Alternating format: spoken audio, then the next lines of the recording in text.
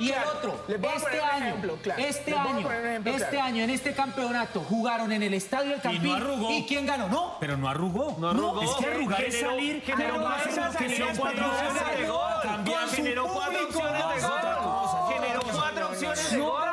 Jorge, la gente de Millonarios ya está cansada de este que man cuando es enfrente a. Nacional, Millonarios arrugue y no clasifique. Mi querido- y pierda los partidos. mi querido- y quede por fuera. Usted- Esta es la gran oportunidad que Ah, no, Millonarios sí. tiene de dar el salto de calidad, es cosa. de evidenciar la evolución. Y aquí es donde yo quiero ver al señor Russo. Esto, ha hecho una gran campaña, Para ¿no? estos partidos sí lo contrataron, no para ganarle a Tigres, campaña. no para ganarle a Ya está en Tigres. semifinales, a una gran campaña la de No, para ganarle a Tigres, a Equidad, pongan a Steven y él también les gana a Tigres, a Equidad, no, al. Tolima. No, está ante- aquí es donde quiero ver a Russo. Y aquí es donde quiero ver a Millonarios mostrar no su evolución y dar el salto de calidad. Está ante la gran oportunidad de decirle a sus hinchas, listo, ya dimos el salto de Dos calidad. cosas, Jorge. Vamos por el Si título. Ahora Millonarios- sí estamos preparados. si